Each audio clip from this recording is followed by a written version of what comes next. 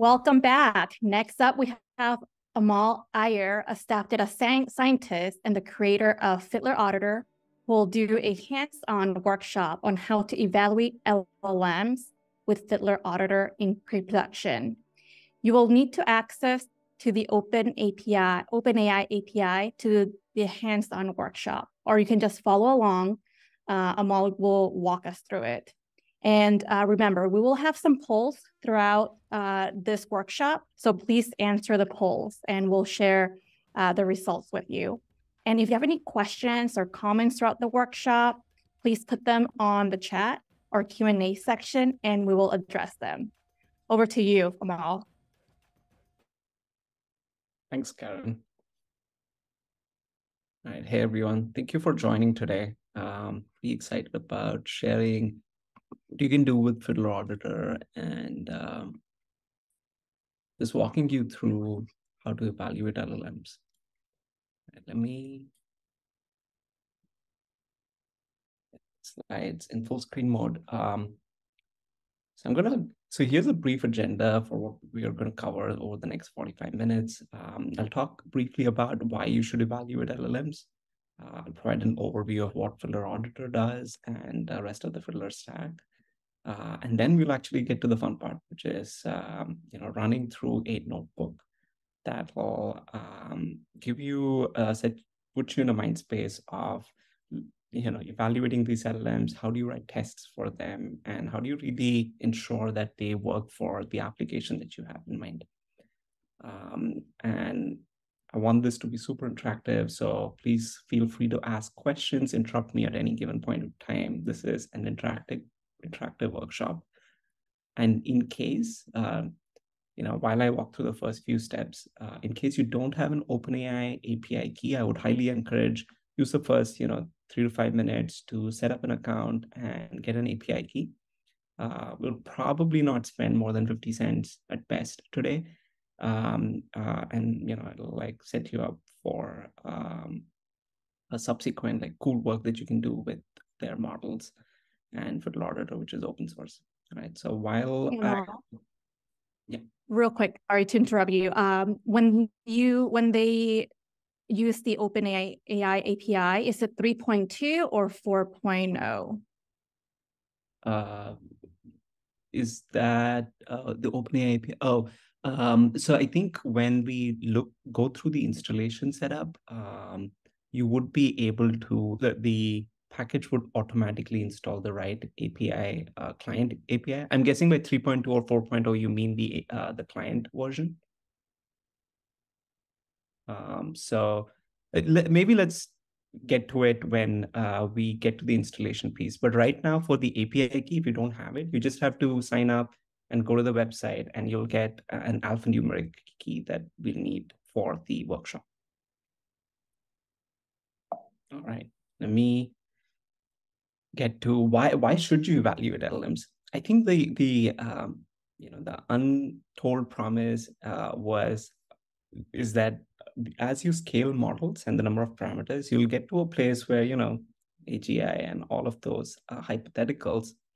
Uh, but really, what these models are doing right now today is probably automating tasks that you know some of us do. Not all of it, but tiny tasks. And the way I tend to see it, or and a lot of others in the field tend to see it is if you define a task as time, you know, in terms of time required, say like looking up a fact is you go to Google and look up a fact, and you make sure that it actually is what you're looking for. So that maybe takes you like 30 seconds. So that that complexity is not, you know, really high, and potentially one can argue that an LLM agent can do it today or sort of summarizing a paragraph. Like if you read a paragraph and, and try to summarize it, it might be a one or a two minute task. So the models that we see today are probably good at doing tasks which are less than a minute or two that a human might take. For long range tasks, we're not there yet. But even in those tasks, I think what's really interesting is that the set of skills that you need for, say, summarization is a mixture of different types of skills. So you the model needs to be able to understand grammar. It needs to be able to generate coherent sentences. It needs to be able to understand what is the most relevant information that it needs to pick from that main paragraph and put it in this summary uh, sentence. So there are a bunch of um, subtasks that the model tends to execute to be able to generate a sentence. So, uh, and I'm taking you away from this, like, you know, this vagueness of like all these weights and parameters and neural nets and all these like fun things uh, to a more uh, a higher level abstraction, uh, which is to look at all the work that the model is doing in terms of tasks. And the reason to do that is we don't have a very good mechanism to understand the internal states of these models today. We've gotten very good at scaling data. We've gotten very good at training models with large number of parameters over the scaled up data, but we haven't really gone to a point where we can really understand what's happening in the internal state. My colleague Josh is going to deliver a talk around can you explain LLMs later today? And he'll talk a little bit about challenges in that space. But in absence of really understanding how these models are functioning, what is the best we can do so that we can safely deploy is to evaluate them like you would evaluate, say, you know, an interview candidate. So when an interview candidate comes along, you know, you provide a set of, uh, you know, tasks. Or if you, when you, you know, appear for a test, you know, you're provided a, a bunch of tasks and you are evaluated on how you perform. And so taking a similar sort of idea out of what we encounter and have encountered as we went through our educational process or we went through our job interview process we also want to do something similar for these models because the promise is that these models will automate some of the smaller granular tasks and allow us to sort of focus on high impact and high leverage tasks.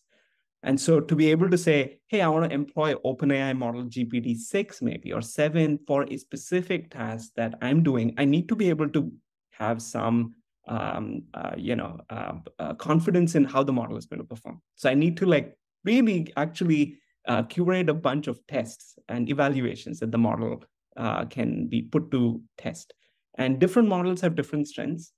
And so you have a, a, a really interesting explosion of, you know, API providers whose models are sitting behind those APIs. You might end up fine tuning your own, or you might end up like from, from a talk earlier in the day from Mosaic, Databricks, you might actually, um, you know, train uh, a, a, model on your bespoke data, internal data. So regardless of what you do, you still need to understand how is that final model going to do on the task at hand. And that is really what's slightly different with generative models uh, as opposed to machine learning models where you you took you sampled data, you had train and test, uh, you did some hyperparameter tuning, tried different models, and you had a test set, and you said, okay, the test set performance looks good. Let me go into production.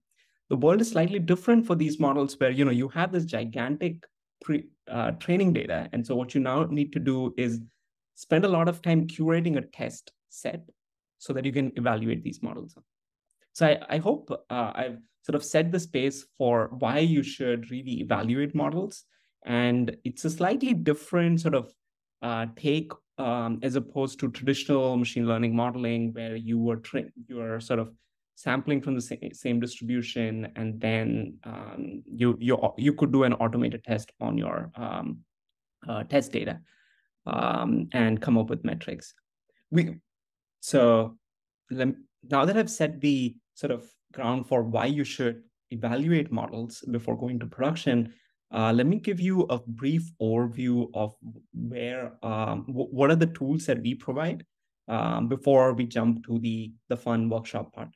Um, so in the pre-production phase, as I mentioned, you know, evaluation is important, and that's where we uh, we've open sourced a tool that we'll use today called the Fiddler Auditor, and it allows you to, you know, really test like uh, test LLMs the way you would test software systems.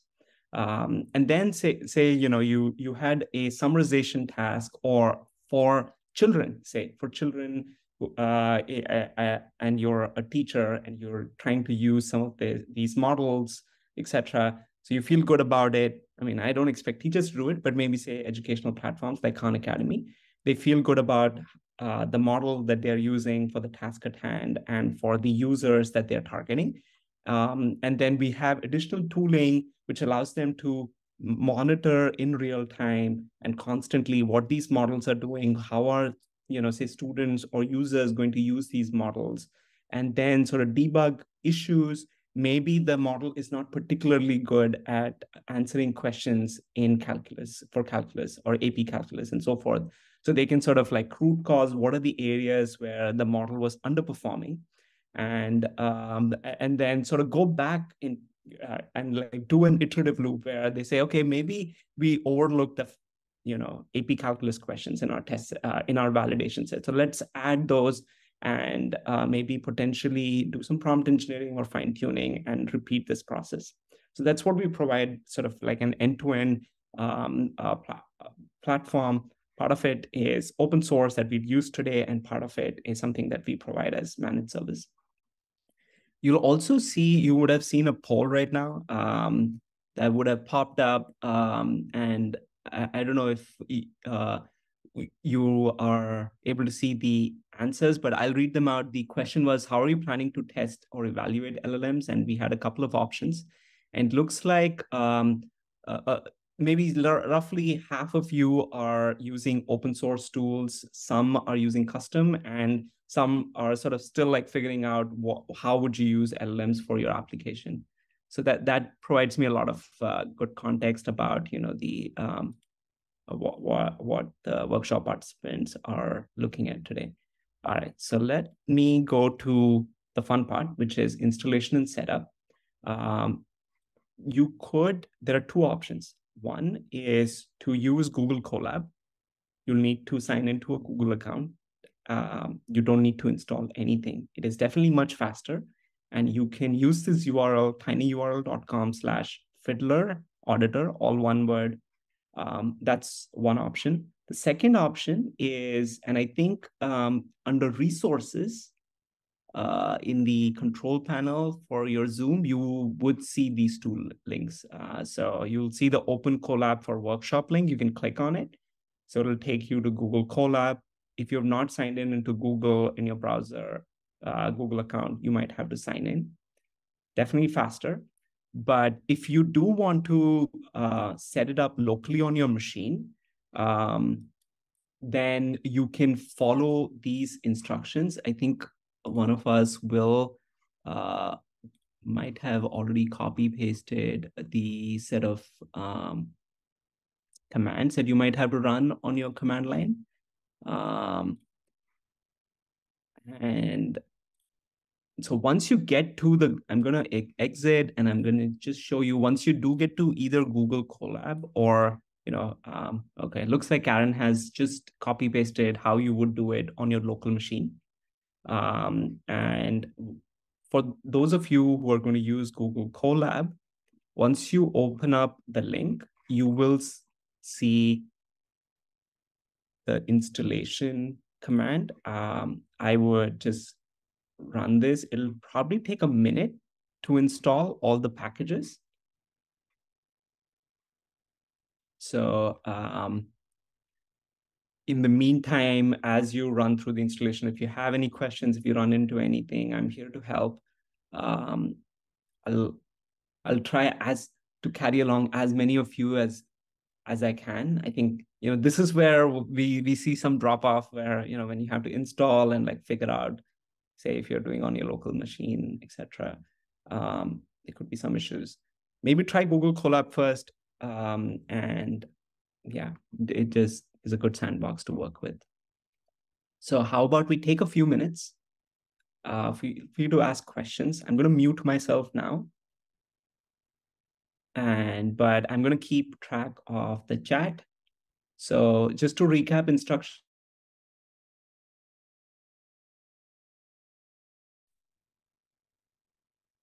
Amal, you're on mute. Just to recap the instructions, go to tinyurl.com slash fiddler auditor. Uh, Karen has sent the link in chat. There's also the link in under resources. Uh, and that should take you to the Google Colab. And once you're there, run the very first cell. So that's that's what we are doing right now. So let's give it a um, couple of more minutes. Um, and then if you're done, I, would love to see uh, a thumbs up uh, so that I have um, some feedback about how many of you are done with installation.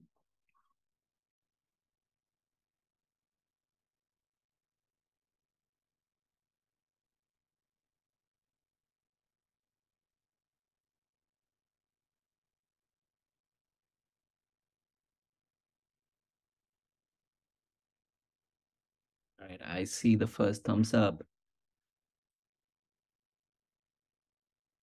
Right, one more. It's...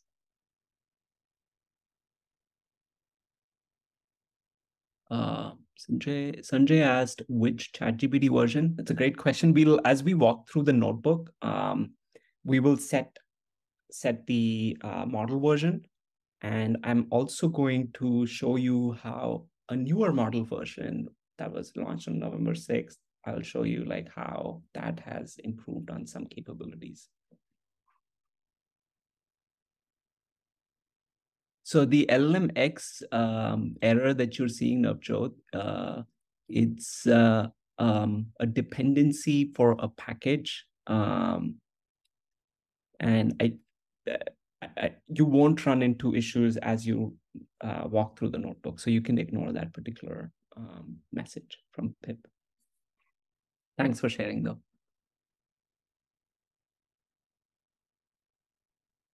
Right, I see another thumbs up.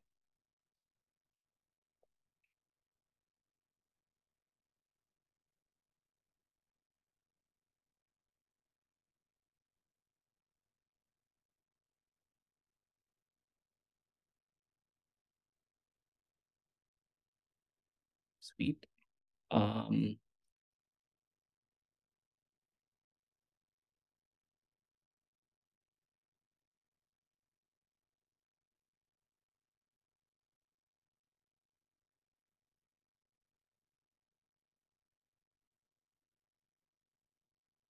Okay, so I think this is probably a good time to move um, along. Um,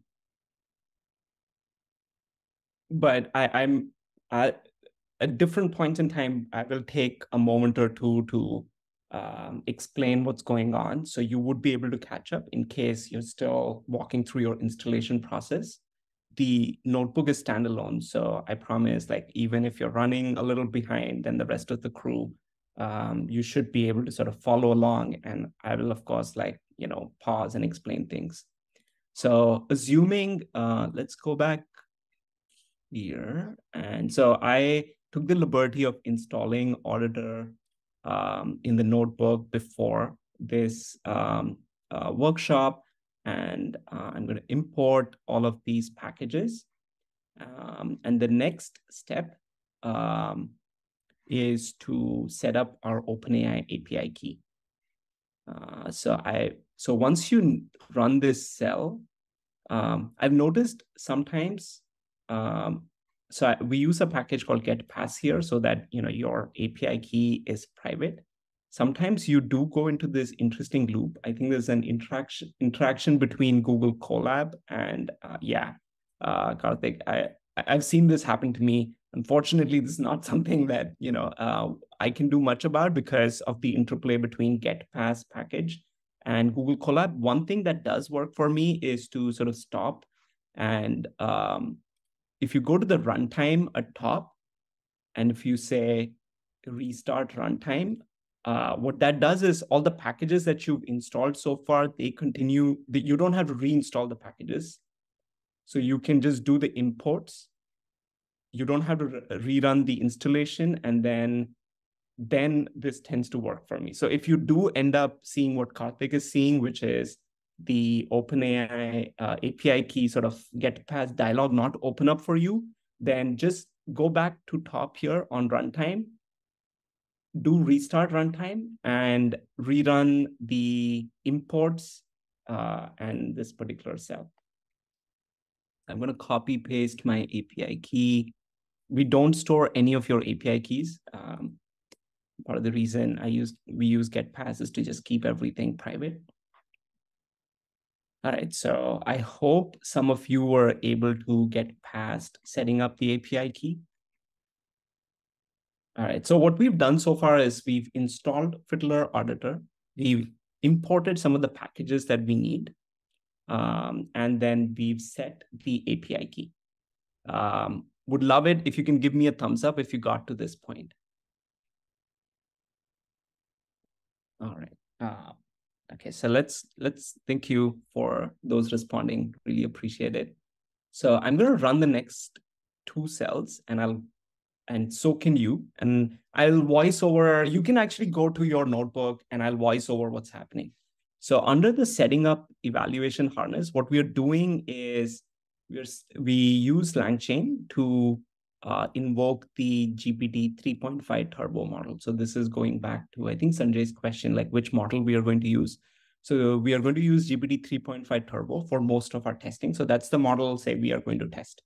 Um, we are going to set temperature to zero because as you'll see in the next cell, we are targeting a chat chatbot application, uh, say at a, a, a, hypothetical bank called New Age. So we don't want the model to be too creative. We don't. We want it to be factual and follow the system level instructions that we are going to provide. So in this cell, we are just invoking the uh, LLM. In the next cell, we are going to set up a few things that we need for setting up the test harness. The first thing that you'll see is we set up something called input transformation, this uh, the line that I'm highlighting. So what this does is it's an inbuilt um, utility that we provide. So given a prompt, this particular utility paraphrases the prompt. Uh, you can set the temperature, I've set it to temperature zero for repeatability, but if you want the, the paraphrasing to be a little more creative, you can do that as well. Uh, what this is mimicking is say you, you know, you came up with a prompt or a query and you are trying to generate variations of it. And so here I'm going to generate five such variations. So imagine in software testing world, imagine you defined an, uh, an input test and you can automatically generate a few um, variations of that input test. So that's what we are doing here with the input transformation. And then uh, we, we also want to uh, look at the outputs of the model and compare it to a ground truth. And what we'll use here is something called a sentence transformer. A sentence transformer is an open source package that we are going to leverage here. It takes in sentences and turns them into floating point numbers. And we are then going to compare the floating point numbers. And I'll show you how we'll do that in the next cell. So I hope you were able to run this cell. This actually ends up downloading a model because the sentence transformer is actually running uh, a transformer model under the hood. And we're in, uh, we're going to set up this expectation function called similar generation. So we are going to say, hey, the regardless of how I paraphrase the prompt, I want the model's output to be consistent. So that's what we are, we've set up here. All right. So we, and then we had set up the, in the previous cells, we had set up the LLM. So that's what we are going to pass into the harness, the test harness, the, the transformation. How do you want to transform the input? And then just like you would in say a PyTest, like what is the expected behavior? So in this case, similar generation. So let's run this cell as well. So this sets up the test harness. Uh, so we provided it three things, and I'll scroll to the top to give you a visual here. So we've set up three things, that input transformation, the LLM that we want to test, which is the GPT 3.5 Turbo, and the expected output. So in this case, similar output. So we've done these three things, but what are we testing for? Um, we are going to create a hypothetical chatbot uh, for this bank called New Age Bank. Um, and we are going to evaluate correctness. Uh, so that's our first task. Like, hey, given some context and a query and an expected response, how does the model do if I just change the input a little bit? Does it change a whole lot? Uh, if it does, that's problematic. Can we fix it? So that's what we'll do in the next couple of cells. Um, I hope everyone is with me. Uh, if you have any questions, feel free to interrupt. Um, okay, so if if you want, you can read along. Um,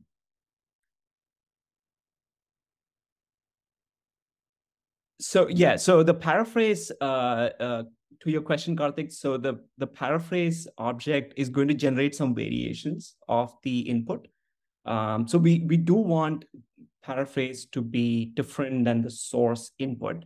Um, and sometimes even with temperature zero, because, and, you know, if, even if you set top K, etc., there is going to be some variability. So as long as the semantic meaning is similar, uh, we want um, we are okay with variations in the input because that's what we're testing in this particular cell now. Um, for repeatability of tests, there is a newer parameter called seed that OpenAI introduced with their client version 1.0 this Monday. Um, and so if you want repeatable tests, I think that's that's a very good sort of seed parameter to set, just like we would set seed in random number generators. But right now, without the seed parameter, there's going to be some variation. Um, all right, so in, in this cell, I'm going to run this cell and then talk, talk to you about what's happening. I, I would highly encourage you to do the same as well. Uh, since yesterday, it does look like OpenAI's latency has increased because I think they had a DDoS attack yesterday. Um, so I, I, would recommend sort of running the cell. Uh, so what's happening here? So we've we are providing some context to our um, GPT 3.5 turbo model. We are saying things like, "Hey, you're a helpful chatbot a New Age Bank that answers questions." Um, and then we provide some information about what New Age Bank does. So things like, you know, they can open up um, uh, an account, they get a debit card and a checking account. Um, uh, we provide mortgage service. The bank provides mortgage services. We also provide some additional meta-level instructions, which is, you know, uh, restrict your responses to queries related to banking because we don't want um, users to come in and ask about, you know, world affairs or general knowledge, etc. Uh, we just want to keep it super restricted to the um, task at hand. And then we say, hey, always end the responses by asking the user if they have any question. Um, so the prompt that we're going to test for is, how can I apply for a student loan through your bank? So this is an interesting question because, you know, we the context only says like New Age Bank also provides mortgage services. So our expected answer would be that in case there isn't enough context in the uh, provided to the LLM, it should probably hedge itself and say, I don't know enough. And so we say, okay, the reference generation could be something like, hey, uh, you know, I apologize, da da da. So let's see if that ends up working. Does the model hedge or what does it end up doing to different prompt variations? So when you run this cell, you get this particular um, report. And I'll walk you through this report and what's happening here. So you get the provider and the model name, and then you get what, what were the inputs that were provided to the model. So all that context that was passed on to the model and the query that you asked or the prompt that you passed on to the model. And because we're doing correctness, we also provide a reference generation, like what ideally, how, how would we like the model to respond? And we don't want to do exact match, and that's why we are using similar generation because with exact match, you know, most of your uh, uh, responses will be marked as um, uh, you know uh, negative. Uh, this is not something that we want. If responses are semantically similar, we want to pass them. Um, so we we pass in this particular reference generation, and then you get a report which talks about like which of the responses passed. So here on the left column, you have all the variations that we generated for the initial question. So, you know, the initial question was, how can I apply for a student loan through your bank? And the variation was, I would like to know the steps involved in applying for a student loan from your bank. So semantically similar, but slight variation. And what you'll notice is as you vary the prompt, the model's response also tends to change. So there are there is definitely sensitivity issue here. And there's like an interplay of correctness and sensitivity issue a lot of these models, including 3.5 Turbo, they are they t- tend to be sycophantic. So when I asked about steps involved, it actually ended up giving me steps. So you, this is problematic because you know if you look at some of the other responses, how can I apply for a student loan? It says, hey, you know, I don't know enough. I don't think the bank provides this. Like it hedges itself.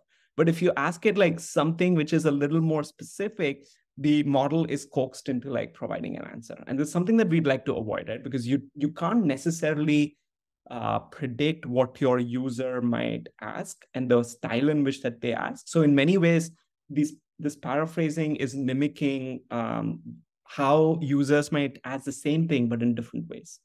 Um, and so you, you notice that the model ends up generating this like varied response and it's probably not ideal for your chatbot application because although you want the model to be you know uh, be useful you don't want the performance or the responses to be highly varying.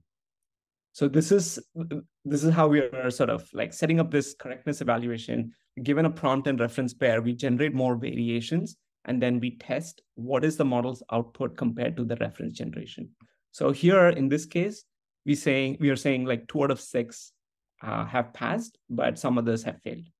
Uh, I'll come back to sort of a more sophisticated way of evaluating, like not just using um, sentence embeddings, but using another model in the next cell. So let's, before we go, go there, let's see how we can fix this.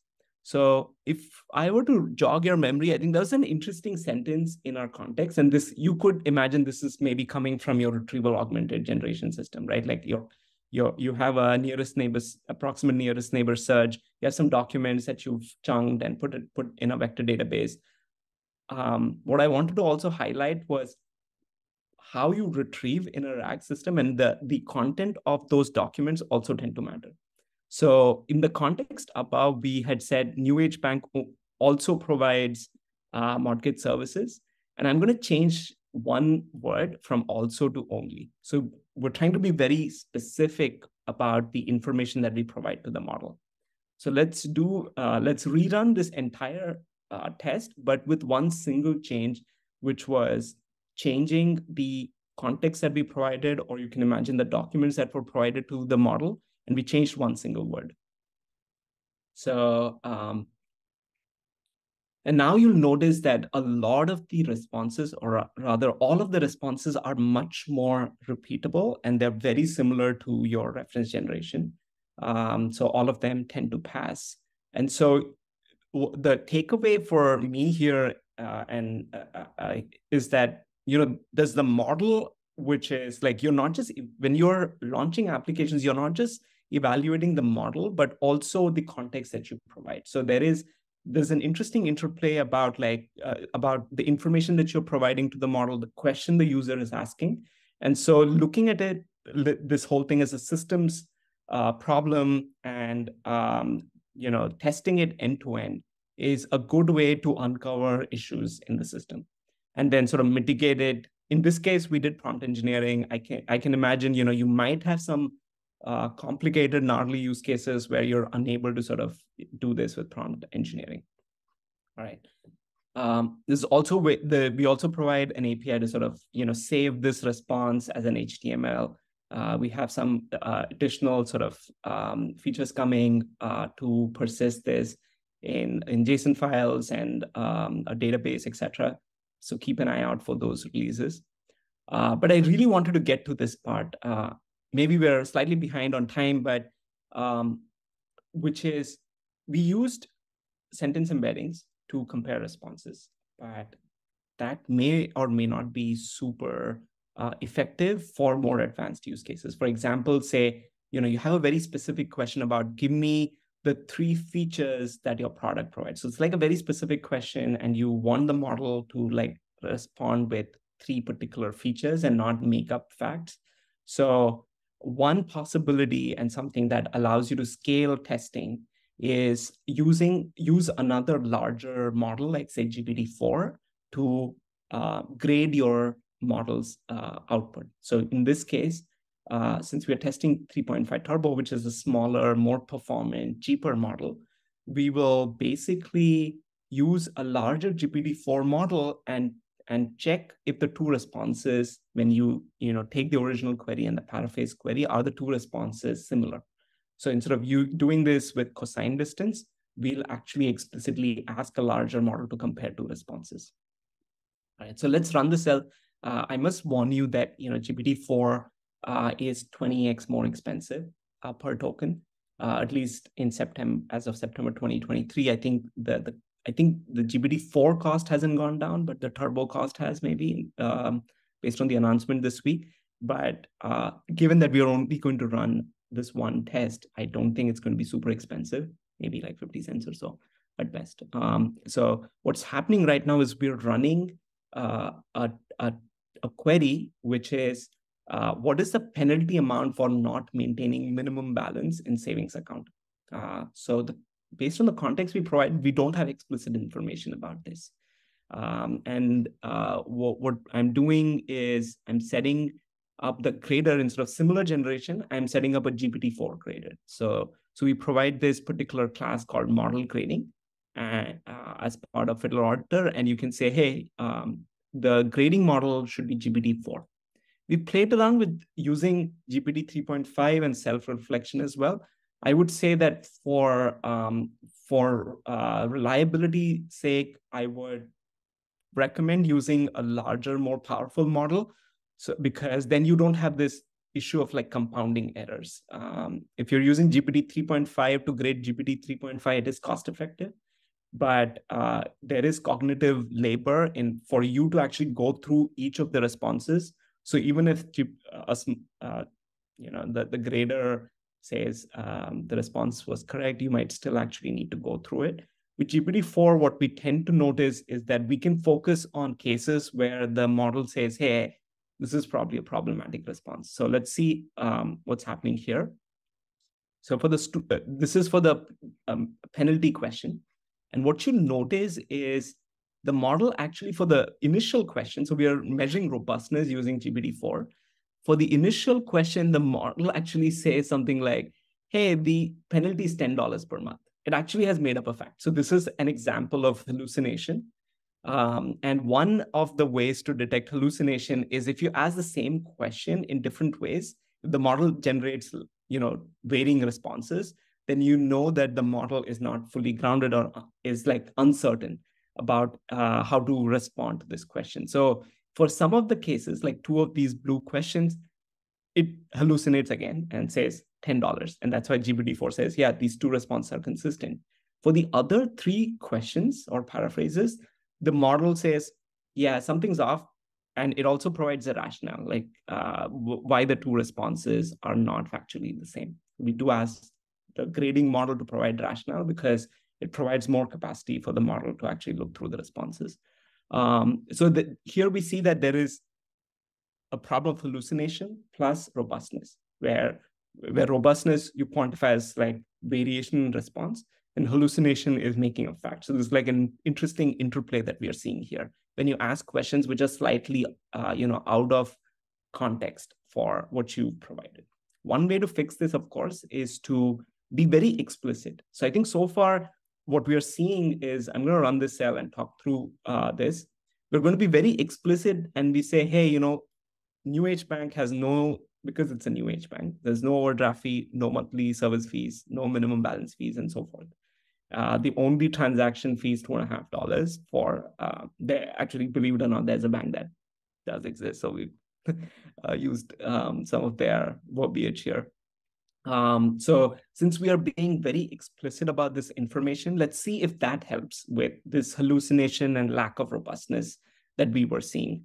Um, so the, the model GPT-4 is slower. So, you know, uh, I, I would recommend it for testing and validation as opposed to like online usage. Okay, so we added those two sentences and now we've asked GPT-4 again, like, hey, look at these responses and tell me if they're consistent. So now we see that uh, the responses are much more consistent and GPT-4 tends to agree um, that they are consistent. So we feel good about, okay, these two questions, we addressed them we provided more context, we were much more specific. So we address correctness and robustness. Now, you created a chatbot and say your users can type in anything.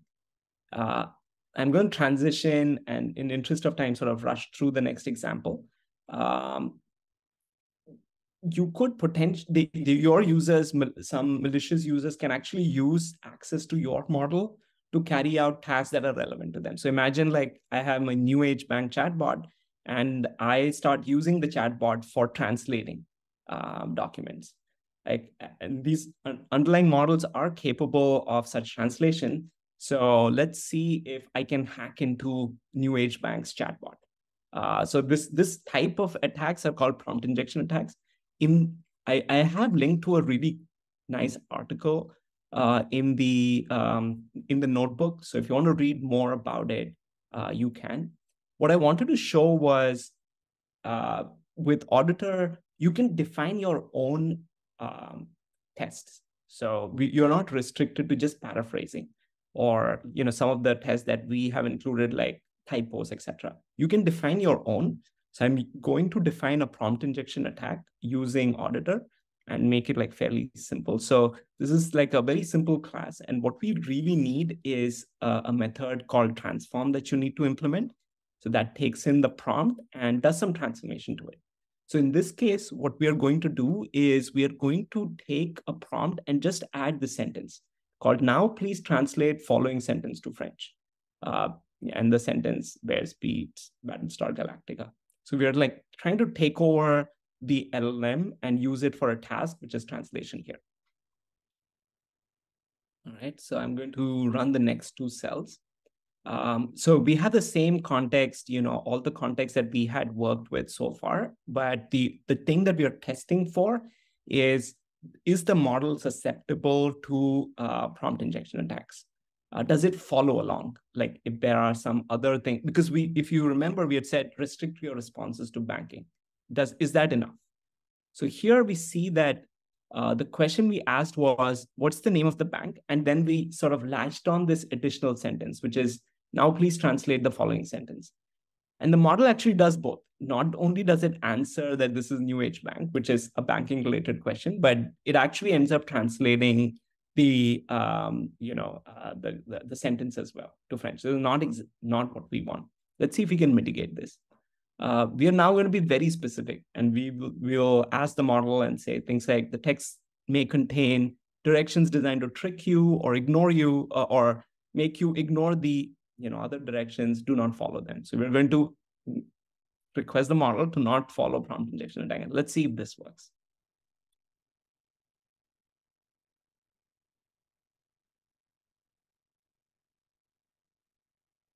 Right so it does take a few seconds because um, we are querying an OpenAI model and then we look at the responses and analyze them um, so it seems to me that uh, even in this case, if you notice, each like it ends up um, translating each of those sentences. So our request hasn't really worked. Um, and so what do we do at this point? So we've tried to sort of um, you know restrict prompt injection by being very explicit in the instructions, but that didn't work either for cases like this i think then you need to like think about what your user experience should look like. Like should you have a drop down and not a text box? Like maybe you can restrict the responses. So there are some mitigation methods beyond the model and prompt engineering that you can do. But what we did notice yesterday was there is a newer model that came out on monday. Um, this is with the tag hyphen 1106 so if you explicitly call that model and let's read on this uh, it looks like the newer chat GPT 3.5 Turbo that was launched on Monday is much better at following your instructions to not follow prompt injection attacks. So we do we ran the same test, but with a newer model. And if you notice, it actually completely ends up ignoring the prompt injection attack, which was to translate that sentence to French. So if you are concerned about prompt injection attack, as a new age bank chatbot uh, creator, you should probably switch to the new model, which is which came out this Monday. But you did all of this work for the previous model. So at this point, I would highly encourage you to actually rerun those tests. So um, this was the final sort of setup, and we're like very close to the end of time here. But I think the takeaway in uh, would be that you know please test your models and with Auditor, you can do them interactively. So you can do prompt engineering, compare different models. And then you can also use it as a test harness, something that you can run on a weekly, bi-weekly, or a monthly cadence to really understand, should you switch to the new model endpoint? Or maybe if you did fine-tune, uh, does the fine-tune model work across a different set of test cases? So I'll, I'll end here. I know I had to rush through a little bit, we didn't have a lot of time to maybe answer the q&a um, so my real uh, apologies for it since we have a minute i'm just going to try and um, Amal, why don't we? I screenshotted some of the questions. Why yeah. don't we? Um, we can respond to them uh, separately. Okay. Uh, because we rush to the next session. Thank you so much, everyone. Uh, please go back to the lobby and uh, join the next session. Thank you.